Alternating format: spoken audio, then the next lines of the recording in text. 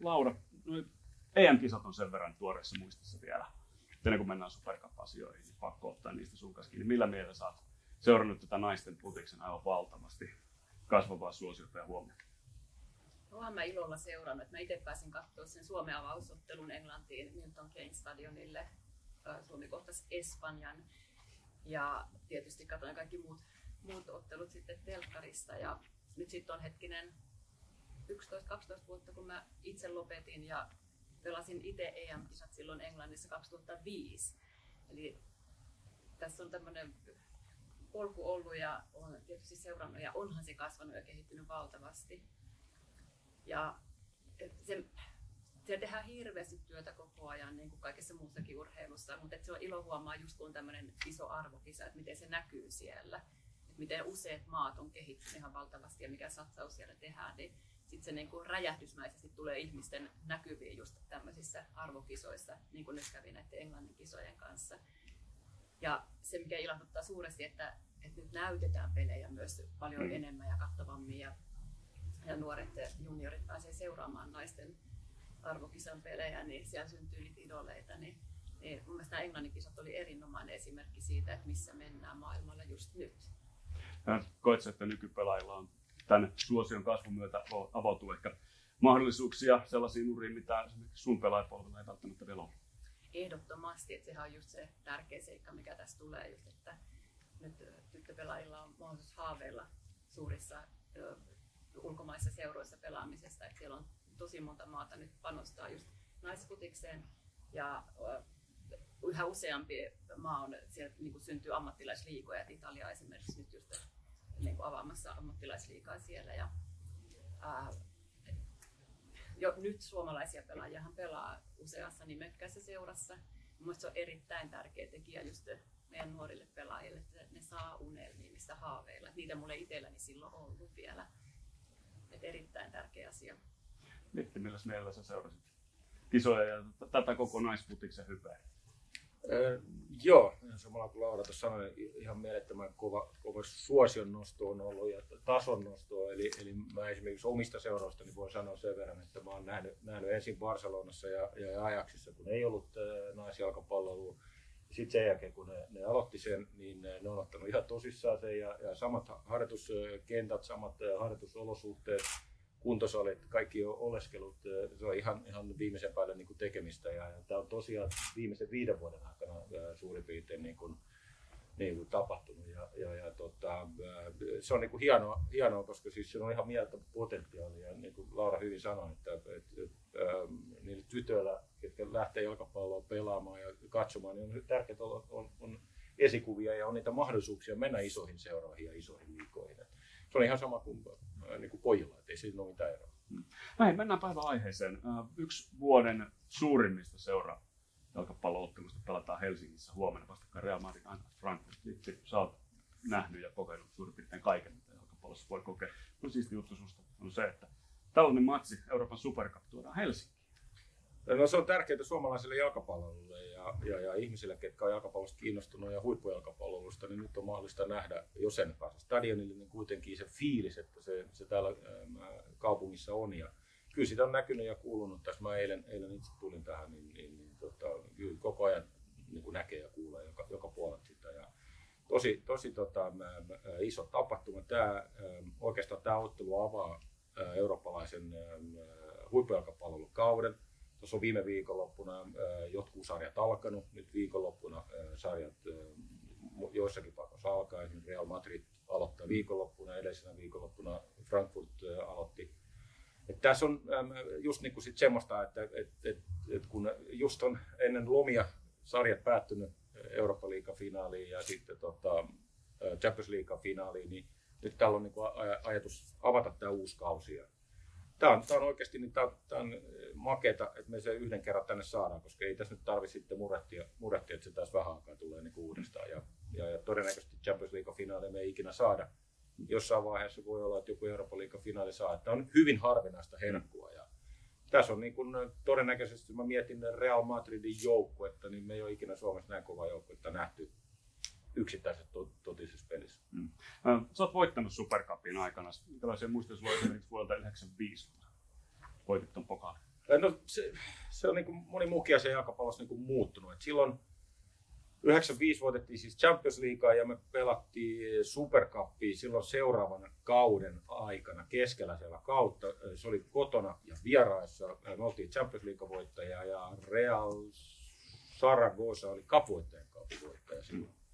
Ja ensin pelattiin vieraissa niin kuin kahden sarjapelin välissä ja sitten tota, niin, pari viikkoa myöhemmin kun se peli piti pelata, niin se siirrettiin sen takia, että oli liian, liian kylmää Hollannissa. Että oli niin kuin todella poikkeuksellisen kova talvi ja tota, kentät oli jäässä. Niin se siirrettiin se ottelu vielä on niin viikolla eteenpäin. Ja sitten tota, voitettiin se, mä muistan 6-0 vai mitä se, se oli, se oli isot, isot lukemat. Ja tota, se oli vähän semmoinen, että kiva, että voitettiin. Että se niin kuin, tavallaan se tuli ja se, se meni, mutta se oli niin kuin jatkumoa silleen, että me oltiin voitettu se Champions League, seuraajoukkueiden maailmanmestaruus Tokiossa ja tämä. Se niin kuin vähän mentiin sillä ajatuksella, että, että meidän on pakko voittaa tämäkin nyt sitten, koska, mm. koska tota, äm, siis me ollaan voitettu noin kaksi, kaksi muutakin, että ei me voida niin kuin jättää sitä siihen. Mm. Mutta se käsiteltiin niin, että meillä oli sunnuntai sarjanpeli ja maanantaina otettiin vähän, vähän totta, niin aiheeksi, että meillä on nyt keskiviikkona superkappia ja sitten torstaina oli jo ajatukset siinä niin kuin, äh, sarjapelissä se, se oli niin kuin näistä, oikeastaan näistä kaikista, mitä nyt itse nyt on päässyt pelaamaan finaaleja muuten, oli vähän semmoinen kaikkein huomaamattomin. Hmm. Ja aivan eri on tällä hetkellä, että nyt, nyt se avaa sitä kautta ja tämä on niin kuin kohokohta. Ja, ja se toinen kerta, kun mä oon ollut Supercupin voittamassa, oli Liverpoolissa 2001, sekin oli taas erilainen, koska se oli silloin noin monta vuotta ää, ajateltu, että finaali pelataan Monakossa, missä on niin kuin kunnon puitteet ja, ja, ja sinne kutsutaan hmm. ihmiset mutta siellä oli vähän semmoinen niin latteen tunnelma, vaikka meillä oli hyvä finaali Liverpool ja Bayern München, hyvät fanit molemmilla.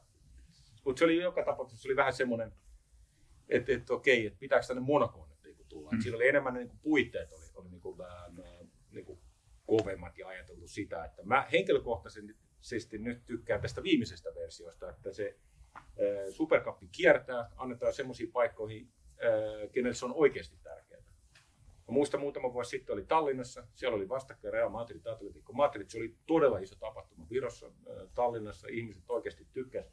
Ja mä sitä samaa ajattelin, että se on niin kuin, nyt Suomelle ihan samalla lailla. Että, että, tosiaan mä oon ollut mukana, mutta tuota, tuntuu jotenkin, että tämä on kaikkein kovin juttu, että saa olla tällaisessa mukana. Mm. Laura, sun aikana naiset ei pelannut mestariliikaa, mutta sä voitit silloin sen korkeimman mahdollisen Euroopan, eli UEFA Cupin kanssa. Minkälaisia muistoja sulla on noista? Joo, eli tämä naisten nykyään se Champions League on hyvin paljon tuoreempi, mitä miesten tietystikin. Ja mä sain olla mukana silloin 2001, kun se käynnistettiin.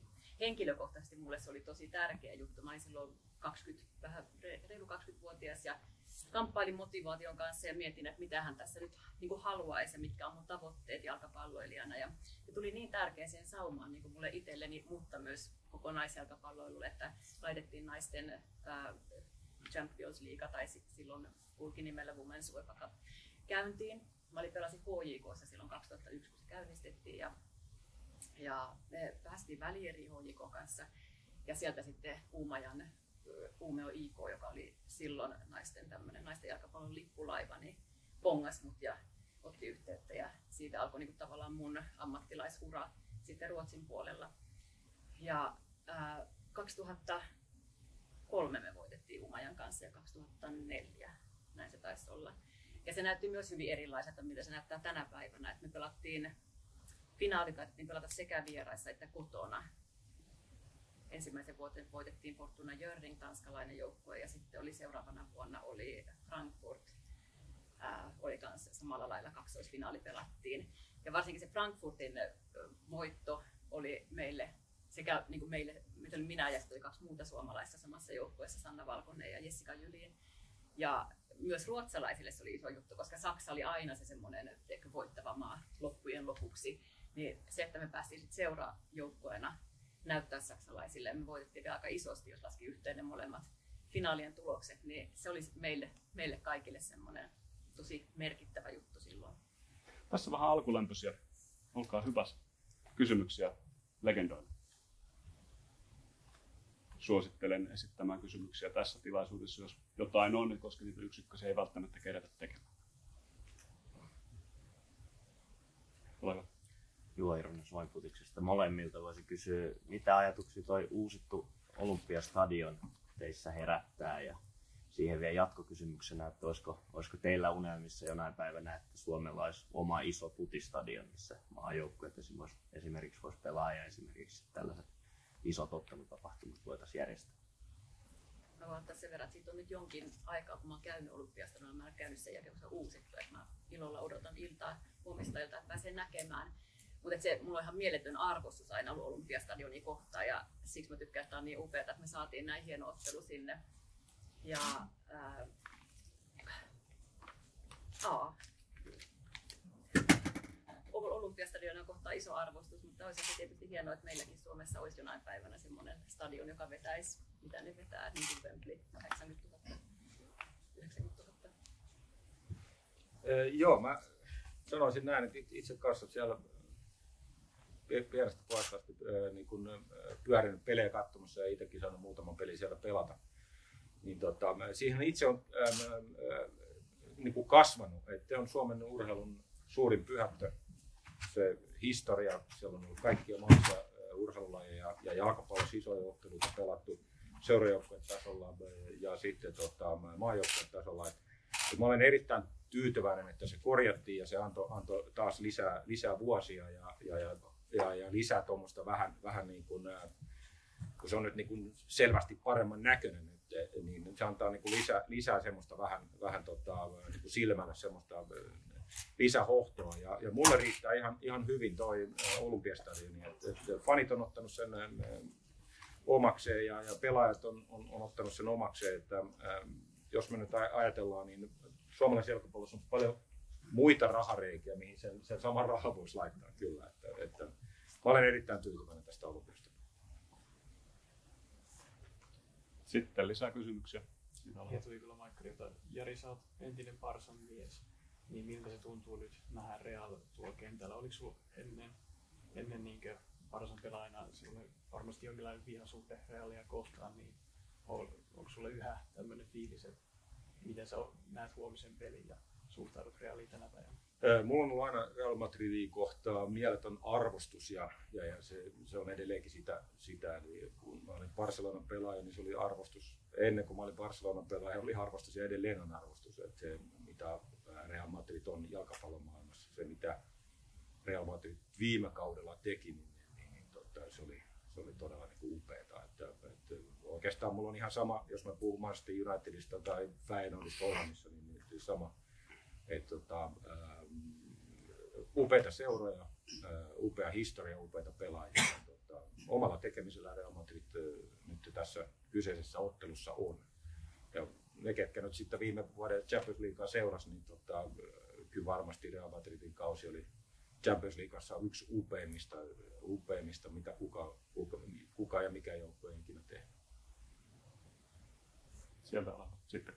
Jussi Vanikka Ylältä. Laura, tota, nyt pelataan tätä Supercupia, mutta palloliitto yhdessä muiden Pohjoismaiden kanssa hakee myös 25 naisten EM-kisoja, niin tämä on varmasti yksi sellainen näyttöpaikka, että täällä voidaan suuria tapahtumia edelleen järjestää, niin kuinka tärkeää olisi saada Suomea ja Pohjoismaihin noin seuraavat EM-kisat naisissa?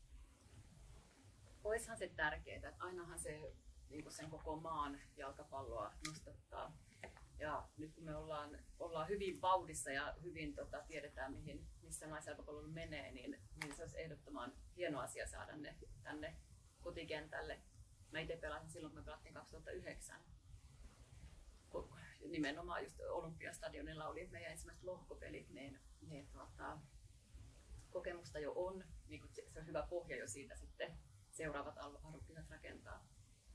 Jos vielä esittää jatkokysymyksen, niin tosiaan pelasit silloin 2009 Olympiastadionilla ja 2005 Englannissa, niin miten sä kuvailisit sitä, että miten paljon se kaikki on kasvanut nyt, nyt kun olit paikan päällä ja seurasit tätä, mitä, mitä nyt tänä kesänä on? On se kasvanut, vaikea pukea ehkä sanoiksi, mutta se näkyy kaikessa ja, ja sekin, että osallistuvien joukkueiden määrä on myös kasvanut kisoissa, sekä EMissä että MM-kisoissa, niin, niin sekin osoittaa sitä, että taso pystytään pitämään korkealla monessa maassa. Ja just se, niin se huomio, mikä, mikä naisten jalkapalvelussa saa, niin kyllä se, kyllä se näkyy niin, niin paljon kattavammin tänä päivänä. Ja mä luulen, että se on just tärkeää, että me niin huomataan, että siinä on potentiaalia. Että miesten jalkapallo on tietysti jo päässyt tiettyihin atmosfääreihin, mutta että me ymmärretään, että naisjalkapallossa on hirveän paljon potentiaalia, että siinä kannattaa satsata. Sitten sitä edestä lisää. Joo, voin. Tämä kysymys olisi Jarille tähän Nikolas Björkbyyristä. Tuota, niin, kannattamisesta ja kannattajista. Jari, sulla on hyvin iso maine varsinkin tuolla Hollannissa. Ja, tota, niin, olet nähnyt varmaan kannattamista jo aika pitkälti. Niin miten sä koet, että millaista kannattaminen on ollut, millaista se on nykyään missä sä näet, että Suomen ka- jalkapallokannattaminen, niin kuin, mikä on se seuraava vaihe? No, aika laaja, laaja kysymys laitoa tuohon, mutta tota, niin hyvä kysymys patterista. Tota, niin, mä oon aina sanonut sitä, että, että äh, mä olen onnekseni kasvanut siellä 80-luvulla, kun ei ollut kannattajia, vaan oli jalkapalloottelussa katsojia. Ja mun muistikuva on se, että ensimmäinen jalkapallon kannattaja, minkä minä muistan, Jari Karppinen, tota, joka tuli lippu olalla ja omat lapset oli mukana. Niin, tota, Kuopio katsoi jalkapalloottelua.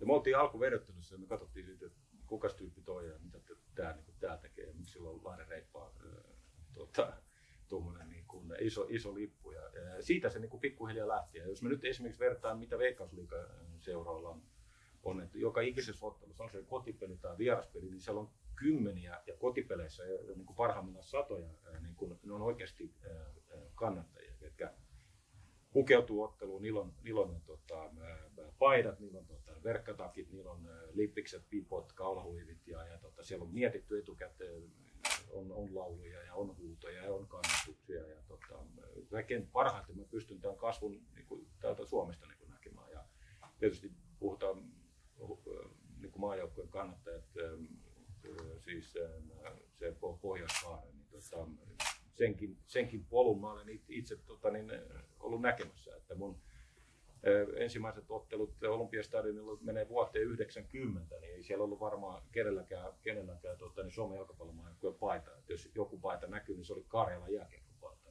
Tota, niin, kyllä me ollaan huimasti menty ete, eteenpäin. Ja, tota, tietysti niin mulla silmät aukesi siihen 92, kun mä, mä siirryin elokuussa ajaksi, niin tota, se tota, ensimmäinen kotipeli peli siellä. Niin, tota, yhdessä tietysti niin, tota, se, oli, se oli huima, huima tota, minkälainen ö, siis laulu siellä oli ja, ja, ja, ja meininki. Ja, tota, niin siitä tietysti pikkuhiljaa rupesi tottumaan, että on joka, joka paikassa, kun puhutaan huippuseuroista ja, ja huippuliikoista. Ja, tota, niin se oli itsestään selvää. Että, että sitten tota, tietynlainen kulttuurisokki oli, kun ensimmäisen kerran tuli taas ulkomailta Suomeen 2004. Niin, se olikin sitten että jos on, on 50-vuotisjuhlat ja sitten on hautajaiset, niin se, se oli suurin piirtein se, se, se sama, sama juttu. Että, tota, et, et, et, et meillä, meillä on menty eteenpäin ja minä arvostan sitä todella, todella, todella kovasti ja kaikki pelaajat arvostaa. Että nyt kun tuossa oli tämä koronajakso ja oli liikoja ja otteluita, missä ei ollut yleisöä, niin kyllä se varmasti niin kaikille, kaikille tota, pelaajille, valmentajille, mutta myös katsojille tuli, tuli niin kuin selväksi, että kyllähän jalkapallo on, on, on kannattajia ja, ja varten ja, ja kannattajat on ja, ja, ja joukkueita varten. Jääkö jotain sanomatta? Ei, toi oli oikein hyvä. No, Tapiokas tämä STT, niin voisi Jari kysyä ihan semmoisen tuosta huomisesta, että oliko se sulle yllätys, että Eiffel Frankfurt voitti Eurooppa-liigan ja tavallaan ne on kuitenkin reaaliin verrattuna aika paljon pienempi seura, niin mitä isona ottelun sä näet heille? No yleensä se menee näin, että sulla on se Champions League voittaja on oikeasti yksi isoimmista. On se nyt sitten Liverpool tai Chelsea tai, tai sitten tuota Real Madrid tai, tai Barcelona. Ja sitten se toinen on vähän niin kuin se P-näyttelijä tässä niin kuin elokuvassa. Ja, ja, ja tota, silloin siellä Tallinnassa ää, muutama vuosi sitten, niin se oli oikeasti se oli makea, makea kun itse tietää sen tason, että sulla on Madridin paikalliskamppailu Tallinnassa. Siellä oli noin 10 000 katsojaa. Ja, ja tota, niin, Atletiikko haluaa ennen kaikkea Real Madridin voittaa. Ja Real Madrid ei missään nimessä halua Atletiikolla niin hävitä. Et se oli oikeasti, se naisti kaikesta, että tuota, niin tämä on niin kuin iso, iso ottelu. Ja nyt sitten niin Eintracht Frankfurt pelasi viime vuonna ähm, erittäin hyvin siinä Eurooppa-liigassa. Eli, eli tiputtivat Barcelona, niillä on mielettömän makea muistot siitä. Suurin osa pelaajista ei tule ikinä saamaan mahdollisuutta pelata Real Madridin vastaan uudestaan. Että, niin kuin tavallaan, tai nyt, nyt ne on Champions League, mistä tietää, vaikka ne on samassa lohkossakin. Mutta sanotaan näin, että lyhyen ajan sisällä niin suurin osa aina Frankfurtin pelaajista niin kokee niin kuin uransa uupeimpia hetkiä. Pelannut Barcelona vastaan, tiputti nyt sitten niin on, on mahdollisuus pelata niin, niin Real Madridiin vastaan. Ne on niin kuin kuitenkin semmoisia seuroja, ne ottelut jäävät mieleen. Viime vuoden siitä mä, niin oikeastaan niillä kasvoi koko ajan se, se, tota, niin se tekeminen siinä Eurooppa-liigassa. Tosiaan Barcelona tiputti sitten hyvän englantilaisen joukkueen West Hamin, ää, tiputtivat ja sitten niinku tavallaan tämä tää, tää finaali nyt sitten oli, oli, että se olisi voinut kääntyä kummalle vaan Rangersille tai, tai tota, Eintracht Frankfurtille. Nyt se Eintracht Frankfurt sen voitti kokonaisuutena, niin mä, mun papereissa niin, niin molemmat olisi voinut voittaa, molemmat pelasivat hyvin, hyvin siellä Eurooppa-liigassa, mutta hienoa sille tarinalle, että Eintracht Frankfurt voitti, koska he ei ole oikeastaan mitään ikinä isosti voittanut. Ja nyt on Eurooppa-liigan voitto, nyt niillä on heti putkeen niin mahdollisuus saada toinen pytty ja se voi ollakin, että taas monen kymmenen vuoteen tarvitse Eintracht Frankfurtista murehtia näissä peleissä. Että, tota, sinänsä niin kuin hieno, hieno niin kuin tarina. Ja, ja, ja tota, mä en nyt muista, monesti ne oli sarjassa Bundesliigassa, oliko joku 10, 11, jotain tämmöistä. Että, tota, Tämä on tämmöisen niin cup-kilpailun, eurooppalaisen cup-kilpailun niin kuin huuma, että sulla on niin kuin mahdollista, mahdollista siellä niin kuin jotain saada, vaikka sarja ei, ei hyvin menisikin. Et, et, et, kun niitä Eurooppa-liigan pelejä katsoo, niin minusta tuntuu, että se on hyvä joukko. Mutta sitten taas, jos olet Bundesliigassa keskitasolla, niin tota, siellä aika paljon kysymysmerkkejä tulee. Ja nyt viikonloppuna niin ne aloittivat ehkä sillä omalla tasollaan nyt sitten Bayern Münchenin vastaan, tai sitten Bayern München oli omalla tasollaan, mutta tota, huominen peli on taas eri peli. Että, tota, ei siitä viime viikonlopusta kannata sitten taas suuria johtopäätöksiä tehdä. Että, tota, tietyllä tavalla yllätti jo Andre Frankfurt, mutta mut, mut, mut oli siihen myös niin kuin oma, oma pohja, että ne niin kuin sen voitti. Sitten Jari, sulta kysyisin Barcelona entisenä pelaajana, että millä mielin olet seurannut Barsan toimintaa tässä kesän aikana? Paljon uusia isoja hankintoja tullut, mutta sitten taas taloudellisesti ollut erinäisiä uutisia ja sitten taas tämä pelaajan rekisteröinti on ollut myös yksi puheenaihe, niin miten, millä mielin sä itse seurannut? No sanotaan näin, että Barcelonan toimintaa hyvin läheltä äh, tota, niin seuranneena äh, hyvinkin pitkään, niin tota, termi äh, Barcelonassa sattuu ja tapahtuu, niin tämä on oikeastaan sitä jatkumoa vaan siihen, että niin positiivisesti kuin negatiivisesti siellä, siellä on kaikki mahdollista. Ja, ja, ja tota, mä, mä, ää, nyt ne on löytänyt jostain uuden kassakaapin ilmeisesti, tai sitten ne on niin, niin kun perustanut jonkun oman pankin tai jotain tämmöistä, että tota, se on ihan makeata, että jos on 1,2 miljardia lainaa, niin saa Lewandowskin. Koska aika moni muukin joukkue on halunnut Lewandowski, kenellä on niin oikeasti rahaa. Et, tota, sinänsä niin urheilullisesti, mikä minulle on kaikkein tärkein, on tietysti se, että nyt meillä on kilpailukykyinen joukkue. Mutta tietysti niin, niin, kun tässä nyt sitten siirretään ja siirretään sitä vastuuta, niin, niin, niin, niin tota, mä en nyt tiedä, mihin tämä sitten loppujen lopuksi niin päättyy. Jossain vaiheessa päättyy, että tulee uusi puheenjohtaja, joka rupeaa ratkomaan näitä samoja asioita. Että, tota, kai tässä nyt ajatellaan niin kuin sitä sitten Barcelonassa, että nyt sitten menestyksen kautta me saadaan niin kuin tuloja ja sitten ruvetaan jossain vaiheessa pikkuhiljaa makselee takaisin. Että tota, minusta siellä on niin urheilullisen puolella nyt ollaan oikein, oikein jäljellä. Savi on hyvä valmentaja siihen ryhmään. Siellä on oikein hyviä nuoria omia pelaajia. Ja nyt niin kuin nämä johtavat pelaajat on oikein hyviä. Ja tota, talous. Älä kysy muuta, mistä ne rahat on kaivettu. Että tota, niin aika moni muukin kysyy sitä samaa. Rahajärjestelyt, vai mikä se voisi olla se virallinen? Sulla, sulla on tota, pelivuosilta kanssa varmasti paljon muistoa Xavin kanssa. Minkälaista välit sulla on siihen nykyään ja tuleeko ehkä mieleen jotain ajatuksia siitä, että milloin sä huomasit, okei, Savista voi tulla hyvä coach tai, tai muuta?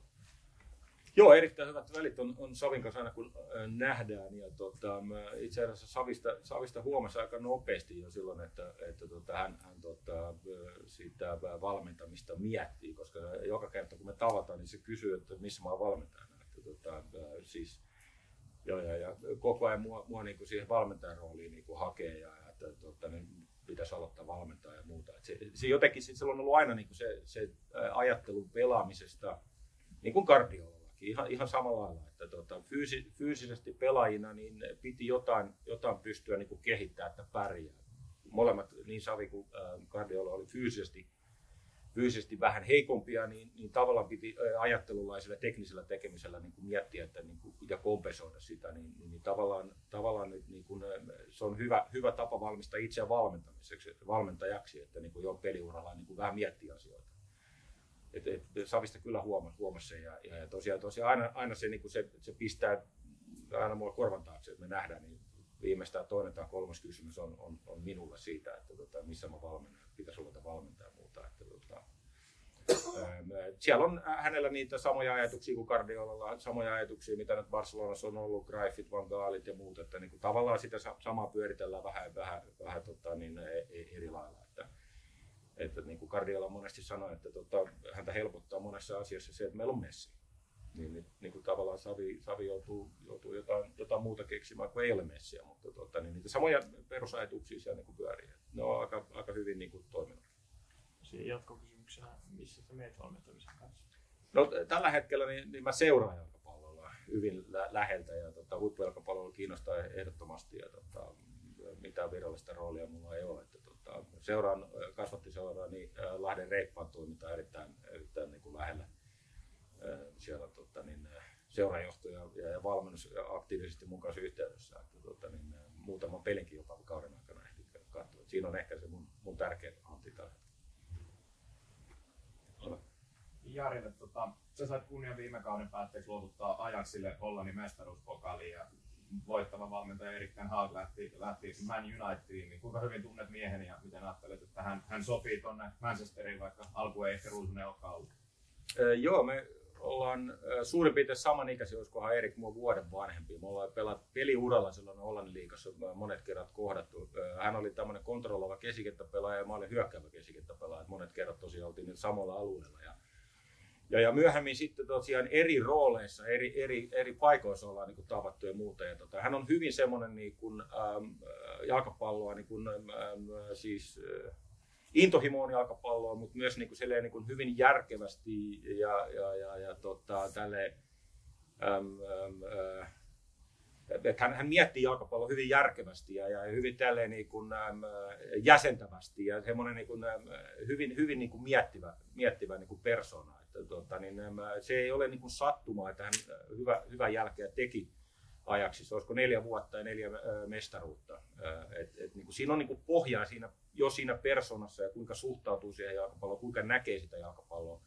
Tietysti kun sä olet, olet ollut pelaaja Hollannissa, sä olet kasvanut hollantilaisen jalkapalloon, sulla on ne tietyt perusajatukset olemassa, sä näet niitä koko ajan, sä käyt niitä koko ajan niin kuin läpi, läpi, mutta täällä oli vain ajan kysymys, milloin hän lähtee johonkin isompaan liikaa ja isompaan, isompaan öö, joukkueeseen. Ja, ja tässä on niin kuin sinänsä niin kuin hauskaa Erikin kannalta, että Erik on Manchester Unitedin kannattaja että tota, hänelle tämä oli niin kuin iso, iso juttu. Ja, ja, ja tota, ää, nyt varmasti Manchester Unitedissa on ne omat ongelma-alueet, ää, ja, ja, ja tota, hän joutuu niitä niin kuin siellä käymään, käymään niin kuin läpi ja, ja missään nimessä helppoa ei tule olemaan. Ja me ollaan nyt varmasti niin kuin kaikki nähty niitä, niitä uutisia tässä kesän aikana, niin, niin tota, ei siellä nyt välttämättä joukkueessa niin hirveästi puhuttu, mutta yksi kaveri ainakin niin kuin ilmoitteli sieltä tasaisin välein, että mitä hän mahdollisesti tekee tai ei tee, tai hänen ympärillään niin kuin sitä kohua. Että se on tietysti yksi asia, mikä pitää ratkaista.